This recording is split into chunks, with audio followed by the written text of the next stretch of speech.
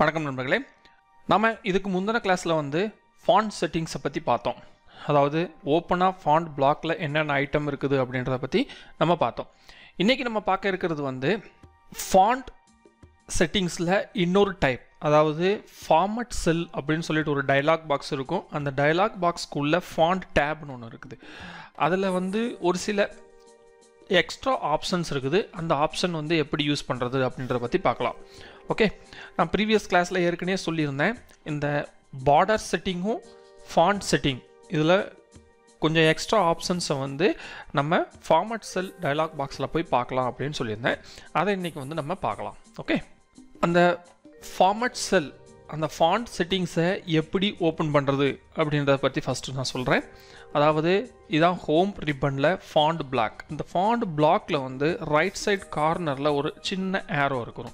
அந்த ஏரோவில் உங்களுடைய மவுஸை நீங்கள் கொண்டு போனீங்க அப்படின்னா இந்த மாதிரி ஃபாண்ட் செட்டிங்ஸ் அப்படின்னு சொல்லிட்டு இந்த இன்ஃபர்மேஷன் வரும். ஃபாண்ட் செட்டிங்ஸ் நீங்கள் ஓப்பன் பண்ணணும் அப்படின்னா கண்ட்ரோல் ஷிஃப்ட் எஃப் கீபோர்டில் நீங்கள் ப்ரெஸ் பண்ணீங்க அப்படின்னா ஃபாண்ட் செட்டிங்ஸ் வந்து ஓப்பன் ஆகும். ஓகே இல்லை என்னென்னா இன்னொரு மெத்தடில் கூட நீங்கள் ஓப்பன் பண்ண முடியும்.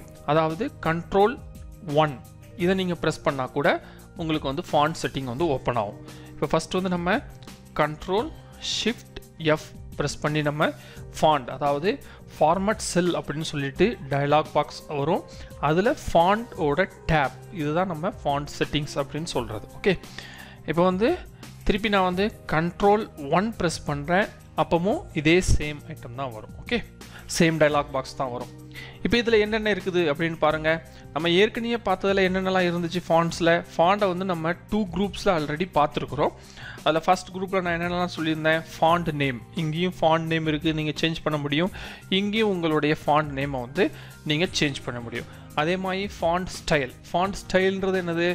போல்டு இட்டாலிக்கு இதை தான் நம்ம வந்து ஃபாண்ட் ஸ்டைல் அப்படின்னு சொல்கிறது அதுதான் இங்கே பாருங்கள் regular font italic font bold bold italic எல்லாம் சேர்ந்து இருக்குது. அதாவது நீங்கள் இங்கே சிங்கிள் சிங்கிளாக நீங்கள் எப்படி அப்ளை பண்ணுவீங்களோ அதை வந்து இங்கே லிஸ்ட்டில் கொடுத்துருக்குறாங்க. நீங்கள் இதை கிளிக் பண்ணி கூட நீங்கள் உங்களுடைய ஃபாண்டை வந்து டிசைன்ஸை மாற்ற முடியும்.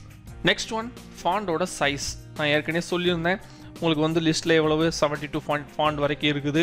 இதில் வந்து எந்த அளவுக்கு நீங்கள் வந்து ஃபாண்டை இன்க்ரீஸ் பண்ண முடியும்? அதுக்கப்புறம் எந்த அளவுக்கு சின்னதாக உங்களுடைய ஃபாண்டாக கொண்டு போக முடியும்? அப்படின்றத கூட நான் ப்ரீவியஸ் கிளாஸஸில் வந்து நான் உங்களுக்கு ப்ரீஃப் பண்ணியிருக்கேன்.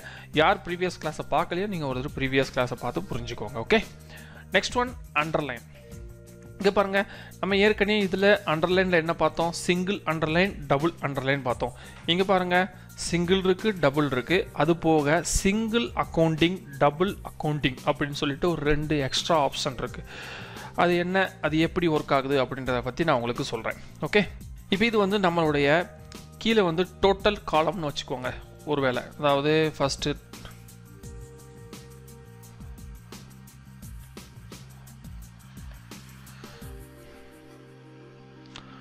இப்போ இது வந்து நம்மளுடைய டோட்டல் காலம்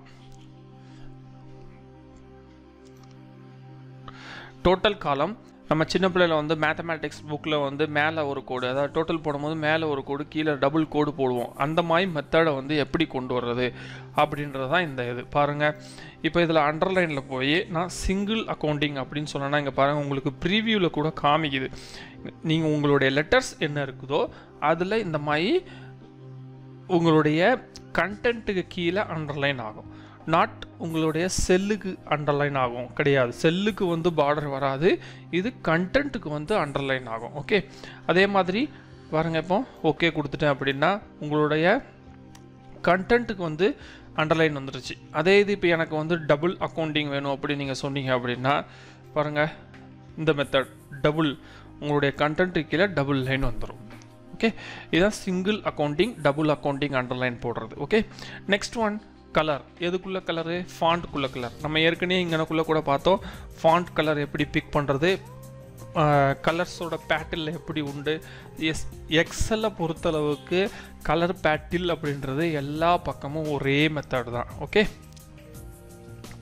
next one normal font இப்போ இந்த நார்மல் ஃபாண்ட் அப்படின்ற இந்த ஆப்ஷன் எதுக்கு கொடுத்துருக்கு அப்படின்னா நீங்கள் வந்து உங்களுடைய ஷீட்டில் நிறைய வித்தியாசமான கேரக்டர்ஸ் அதாவது நீங்கள் எங்கே இருந்தாவது ஒரு ஷீட்டு டவுன்லோட் பண்ணியிருக்கீங்க இல்லைன்னா எங்கே இருந்தாவது காப்பி பண்ணி கொண்டு வரீங்க. அப்படிங்கும் போது அதில் டிஃப்ரெண்ட் டைப்ஸ் ஆஃப் ஃபாண்ட்ஸ் இருக்கலாம் டிஃப்ரெண்ட் டைப்ஸ் ஆஃப் ஃபார்மட்டிங்ஸ் இருக்கலாம் டி அந்த அண்டர்லைன்ஸ் அந்த மாதிரி நிறைய இருக்கலாம். அதை ஃபுல்லாக ஒரே டைமில் எல்லாத்தையுமே ரிமூவ் பண்ணணும் அப்படின்னா நீங்கள் என்ன பண்ணலாம் அப்படின்னா உங்களுடைய ஷீட்டை டோட்டலாக செலக்ட் பண்ணிவிட்டு ஃபார்மட் செல்லில் ஃபாண்ட் பிளாக்ல போய் இந்த நார்மல் ஃபாண்ட் அப்படின்றத நீங்கள் இப்படி கிளிக் பண்ணி ஓகே பண்ணிட்டீங்க அப்படின்னா உங்களுடைய ஷீட்டில் எத்தனை டைப் ஆஃப் ஃபாண்ட்ஸ் இருந்தாலும் சரி என்னென்ன ஃபார்மட்டிங்ஸ் இருந்தாலும் சரி எல்லாமே நார்மல் மோடுக்கு வந்துடும் நார்மல் மோடு என்ன? உங்களுடைய எக்ஸல் என்ன default font default size default ஃபார்மட்டிங்கில் உண்டோ அதே மெத்தடுக்கு உங்களுடைய ஹோல் ஷீட்ஸ் வந்துடும் ஓகே அதான் அந்த நார்மல் ஃபாண்ட் அப்படின்ற இந்த ஆப்ஷன் வந்து ஒர்க் ஆகுது. ஓகே நெக்ஸ்ட் ஒன் எஃபெக்ட் அப்படின்னு சொல்லிட்டு ஒரு ஆப்ஷன் இருக்குது இது வந்து உங்களுக்கு வெளியில் வந்து எங்கேயும் ஆப்ஷன் கிடையாது. இந்த ஃபாண்ட் பிளாக்ல வெளியில் எங்கேயுமே இந்த ஆப்ஷன் கிடையாது. இது என்ன செய்யும்? ஸ்ட்ரைக் த்ரூ அப்படின்னா என்ன? ஸ்ட்ரைக் த்ரூ அப்படின்னாலே உங்களுக்கு அந்த எழுதியிருக்கிற வேர்டை வச்ச ஒரு மீனிங் புரியும். நடுவில் வந்து ஒரு ஸ்ட்ரைக் கொடுக்க போகிறாங்க அதாவது ஒரு லைன் கொடுக்க போகிறாங்க அந்த கண்டென்ட்டில் நடுவில் ஒரு லைன் கொடுக்க போகிறாங்க அதான் ஸ்ட்ரைக் த்ரூ இப்போ பாருங்கள் இப்போ நான் இப்போ கிளிக் பண்ணேன் அப்படின்னா இங்கே ப்ரீவியூ பார்த்தா தெரியும். இந்த ப்ரீவியூவில் கூட உங்களுக்கு ஷோ பண்ணுது. அதாவது ஸ்ட்ரைக் த்ரூ அப்படின்னா என்ன பண்ண போகுது அப்படின்ற வந்து இங்கே வந்து ஷோ பண்ணுது. இப்போ ஓகே பண்ணுங்கள் உங்களுடைய கண்டென்ட் ஃபுல்லாக ஸ்ட்ரைக் த்ரூ ஆயிரும். நெக்ஸ்ட் ஒன் இப்போது நீங்கள் வந்து ஃபார்ட்டி தேர்ட் இப்போ நான் வந்து ஃபஸ்ட்டு செகண்ட் இப்படின்னு எழுதணும். பட் இந்த எஸ்டி அப்படின்றது வந்து மேலே கார்னர் ரைட் கார்னரில் போச்சு அப்படின்னா இன்னும் பார்க்குறதுக்கு வந்து நல்லா இருக்கிறோம் அப்போ அதை எப்படி கொண்டு வர்றது? இதை வந்து நம்ம வேர்டில் டைப் அடித்தோம் அப்படின்னா ஆட்டோமேட்டிக்காக ஃபஸ்ட் அந்த எஸ்டி அப்படின்றது ரைட் சைட் கார்னருக்கு மேலே போயிடும் பட் எக்ஸலில் வந்து இந்த ஆப்ஷன்ஸ் கிடையாது. பட் இதை வந்து நீங்கள் மேனுவலாக சூப்பர் ஸ்கிரிப்ட் சப்ஸ்கிரிப்ட் பண்ண முடியும். அது எப்படி பண்ணுறது பாருங்கள் ஃபஸ்ட்டு வந்து நீங்கள் எதை சப்ஸ்கிரிப்ட் சூப்பர்ஸ்கிரிப்ட் பண்ணுமோ அதை செலக்ட் பண்ணிக்கோங்க. செலக்ட் பண்ணிவிட்டு நீங்கள் ஃபாண்ட் ஆப்ஷனுக்குள்ளே போய் இப்போ சூப்பர் ஸ்கிரிப்ட் அப்படின்னு கிளிக் பண்ணோன்னா பாருங்கள் உங்களுடைய ப்ரீவியூ என்ன செய்யுது? ஃபஸ்ட்டு இதை நம்ம நார்மலாக இருக்கும் போது என்ன செய்யுது? மிடில் கரெக்டாக இருக்குது. இப்போ சூப்பர் ஸ்கிரிப்ட் கிளிக் பண்ணோன்னா அப்படியே டாப்புக்கு போகுது. இப்போ நான் இந்த எஸ்டி அப்படின்றத வந்து நான் சூப்பர் ஸ்கிரிப்ட் பண்ண விரும்புகிறேன் இங்கே பாருங்கள் இப்போ ஓகே பண்ணிட்டேன் அப்படின்னா இந்த ஃபஸ்ட் அப்படின்றது இப்போ வந்து இது வந்து ஒரு கரெக்டான ஃபார்மேட்டுக்கு வந்து வந்துருச்சு. ஓகே இப்போ இதே மாதிரி நீங்கள் கெமிஸ்ட்ரியில் வந்து ஹெச் டூ ஓ அப்படின்னு எழுதுவோம். அதாவது ஹெச் டூ ஓ அப்படின்னு எழுதுவோம். பட் இது இப்படி இருந்ததுன்னா வந்து கெமிஸ்ட்ரியில் வந்து நம்ம உங்கள் அந்த வேதியியல் குறியீடுகளை வந்து இந்த மாதிரி கண்டினியூவாக எழுதணும்னா புரியாது. பட் இதே இது நீங்கள் வேர்டில் எழுதுனீங்க அப்படின்னா அது ஆட்டோமேட்டிக்காக டூன்றது வந்து கீழே போயிடும் பட் எக்ஸலில் வந்து போகாது. இப்போ போகணும் அப்படின்னா என்ன செய்யணும்? நம்ம ஏற்கனவே சூப்பர் ஸ்கிரிப்ட் அப்படின்னு பார்த்தோம். அப்போ அதுக்கு ஆப்போசிட் என்ன? சப்ஸ்கிரிப்ட் இப்போ பாருங்கள் திருப்பி ஃபாண்ட் செட்டிங்ஸில் போய் இப்போ இந்த சப்ஸ்கிரிப்ட் அப்படின்றத நான் கிளிக் பண்ணேன் அப்படின்னா சூப்பர் ஸ்கிரிப்ட் பண்ணும்போது இந்த லெட்டர் வந்து சின்னதாகி மேலே போச்சு. இப்போ சப்ஸ்கிரிப்ட் பண்ணும்போது லெட்டர் சின்னதாகி கீழே கார்னருக்கு வருது. ஓகே ஓகே பண்ணிங்கன்னா பாருங்கள் இப்போ ஹெச் டூ ஓ அப்படின்றது இப்போ இந்த கெமிஸ்ட்ரியோட குறியீடு வந்து கரெக்டான மோடில் இருக்குது. அப்போது இதில் எக்ஸ்ட்ரா என்னென்ன ஆப்ஷன் பார்த்தோம் நம்ம? பாருங்கள் எக்ஸ்ட்ரா இதில் ஆப்ஷன் வந்து accounting single accounting double accounting சொல்லிட்டு ஒரு ரெண்டு ஆப்ஷன் இதில் கிடச்சிச்சு. நெக்ஸ்ட் வந்து இந்த எஃபெக்ட்ஸ் வந்து நமக்கு கிடச்சிது. அதாவது strike through superscript subscript இது கிடச்சிது. இது போக ரொம்ப இம்பார்ட்டண்ட் என்ன?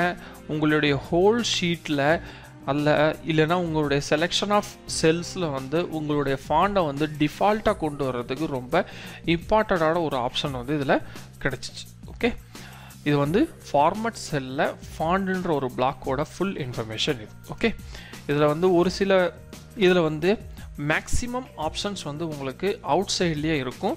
ஒரு சில இம்பார்ட்டண்ட் அதாவது வெளியில் இல்லாத ஆப்ஷன்ஸ் வந்து இந்த ஃபாண்ட் செட்டிங்ஸ்க்குள்ளே வந்து ஆப்ஷன்ஸ் இருக்குது. அதை கூட நம்ம வந்து தெரிஞ்சிருந்ததுன்னா ரொம்ப ஈஸியாக யூஸ் பண்ணலாம். ஓகே நெக்ஸ்ட் நம்ம பார்க்க இருக்கிறது வந்து என்ன சொல்லியிருந்தேன்? இந்த பார்டர்ஸில் வந்து மோர் பார்டர்ஸ் அப்படின்னு சொல்லிட்டு ஒரு ஆப்ஷன் இருக்குது. இதை இதை பற்றி நான் உங்களுக்கு தெளிவாக ப்ரீஃப் பண்ணுறேன்னு ப்ரீவியஸ் கிளாஸில் சொல்லியிருந்தேன். இப்போ இந்த மோர் பார்டர்ஸ் இதை வந்து எப்படி கொண்டு வருது நம்ம இந்த மோர் பார்டர்ஸை கிளிக் பண்ணாலும் உங்களுக்கு இந்த ஃபார்மட் செல்லுன்ற டயலாக் பாக்ஸ் ஓப்பன் ஆகும். அதில் பார்டர்ஸுன்ற டேப் வந்து ஆக்டிவ் ஆகும் ஓகே இப்போ இதை வந்து நம்ம எப்படி கொண்டு வரலாம்? கண்ட்ரோல் ஒன் ப்ரெஸ் பண்ணால் கூட உங்களுக்கு வந்து இந்த ஃபார்மட் செல் அப்படின்ற டயலாக் பாக்ஸ் வரும். இதில் உங்களுக்கு தேவையான எந்த டேபை நீங்கள் பா பார்க்க விரும்புகிறீங்களோ எந்த டேபை யூஸ் பண்ண விரும்புகிறீங்களோ அதை நீங்கள் பார்க்க முடியும்.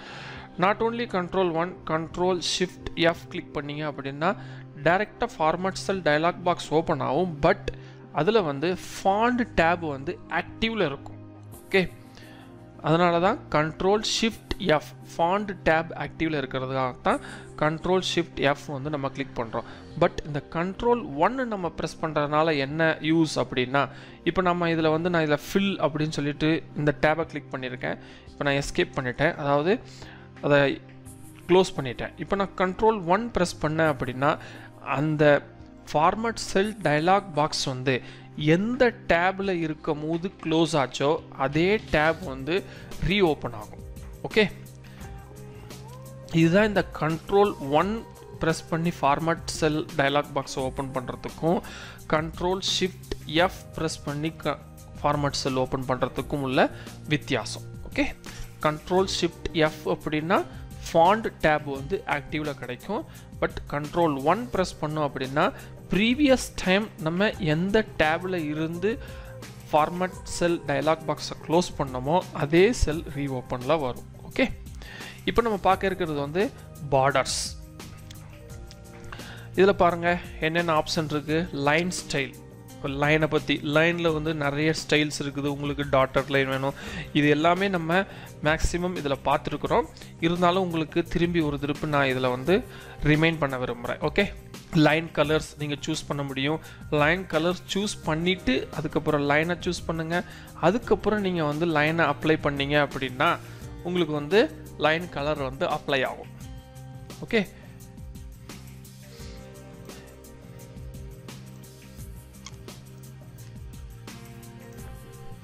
ஓகே இப்போ இதில் பாருங்கள் இதில் வந்து ப்ரிசெட்ஸ்ன்னு இருக்குது நன் அவுட்லைன் இன்சைட் இன்சைடு இதில் ஆக்டிவ் ஆகாததுக்கு காரணம் நம்ம வந்து சிங்கிள்ஸில் தான் சூஸ் பண்ணியிருக்கோம். அதனால் இன்சைடு ஆப்ஷன் இல்லை. பட் இதில் எக்ஸ்ட்ரா என்ன ஆப்ஷன் இருக்குன்னு பாருங்கள் பாட்டம் இருக்குது டாப் இருக்குது side right side left side எல்லாமே இருக்குது பட் இதில் எக்ஸ்ட்ரா என்ன ஆப்ஷன்ஸ் ஆப்ஷன் இருக்குது? டயகனல் ஆப்ஷன் இருக்குது பாருங்கள் ரைட் சைடு டயகனலும் இருக்குது லெஃப்ட் சைடு டயகனலும் இருக்குது. நீங்கள் செல்ஸை வந்து இந்த மாதிரி டயகனலாக கூட நீங்கள் மாற்றி அமைக்க முடியும். ஓகே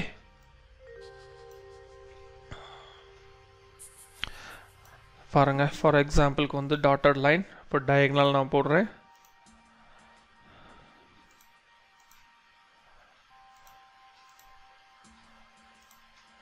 பாருங்கள் டயக்னல் இந்த மாதிரி செல்ஸை டிசைனில் பட் இதில் வந்து நீங்கள் டைப் கூட அடிக்க முடியும். டைப் அடித்தாலும் அந்த டயக்னல் வந்து இட்ஸ் ஏ பார்டர் பார்டர் வந்து எக்காரணத்தை கொண்டும் மறையாது. ஓகே அப்போ இந்த பார்டர் செட்டிங்ஸில் வந்து என்ன எக்ஸ்ட்ரா இருக்குது உங்களுக்கு? எக்ஸ்ட்ரா இந்த டயக்னல் ஆப்ஷன் இருக்குது ப்ளஸ் உங்களுக்கு இதில் என்ன ஒரு பெனிஃபிட் நீங்கள் பார்டர் அப்ளை பண்ணும் போது உங்களுடைய பார்டர் வந்து எப்படி அப்ளை ஆகுது அப்படின்ற ப்ரீவியூ வந்து நீங்கள் இதில் ஈஸியாக பார்க்க முடியும். இதுக்கு முன்னால் நீங்கள் இங்கே ஒன்று ஒன்றா அப்ளை பண்ணும் போது தான் அது அப்ளை ஆகிக்கிட்டே இருக்கும். லைவில் அப்ளை ஆகிக்கிட்டே இருக்கும். பட் இதில் வந்து நீங்கள் செலெக்ஷன் பண்ண செல்ஸுக்கு வந்து எப்படிப்பட்ட பார்டர் வந்து அப்ளை பண்ணுறீங்க அப்படின்ற வந்து நீங்கள் ப்ரீவியூ மூலமாக கூட நீங்கள் பார்க்கலாம். ப்ரீவியூவில் உங்களுக்கு ஒரு சாட்டிஸ்ஃபேக்ஷன் இல்லை அப்படின்னா நீங்கள் இதை கூட கேன்சல் பண்ணிவிட்டு போயிடலாம். பட் இங்கே நீங்கள் அப்ளை பண்ணது இல்லையோ ஒன்று ஒன்றா நீங்கள் அண்டு பண்ணி தான் போய்கிட்டே இருக்கணும். ஓகே அப்போது அந்த கிளாஸில் வந்து நம்ம font settings and border settings format செல்லில் நாம் இந்த கிளாஸில் வந்து ஃபார்மட் செல் டயலாக் பாக்ஸில் ஃபாண்ட் டேப் அதுக்கப்புறம் பார்டர் அப்படின்ற ரெண்டு டேப்பை பற்றி ப்ரீஃபாக பார்த்துட்டோம். இதில் வந்து என்ன? இது ஆக்சுவலாக ஃபாண்ட் பிளாக்ல ஒரு ஆப்ஷன்ஸ் தான். அதில் ஒரு சில ஆப்ஷன்ஸ் வந்து எக்ஸ்ட்ரா இருந்தது. அந்த ஆப்ஷன்ஸை பற்றி நம்ம தெளிவாக ப்ரீஃபாக பார்த்துருக்கோம் ஓகே மீண்டும் சந்திப்போம் அடுத்த வகுப்பில்.